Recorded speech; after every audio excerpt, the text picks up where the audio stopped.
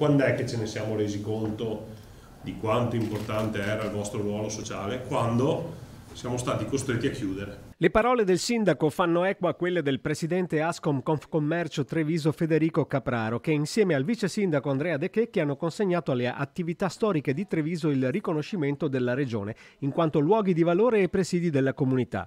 L'ortofrutta Ghedin, l'oreficeria De Rui, l'antiquario Antichità Vanzella, l'ortofrutticola Tasca, l'osteria Dalla Gigia e il centro contabile. Via Toniolo, vicino alla Camera di Commercio, Piazza Borsa. Dal 75 c'è il negozio, buffetti, 30 ottobre 75, sì.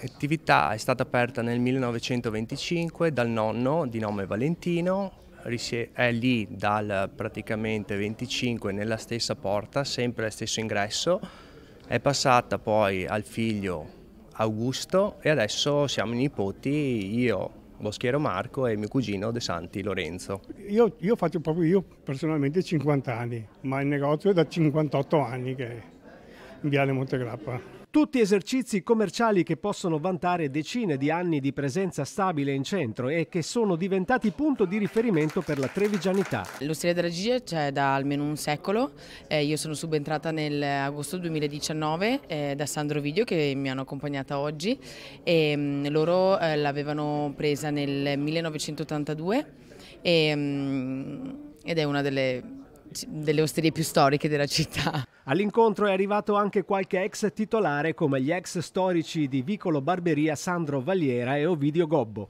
Poveri pensionati, vecchi e malandati, basta.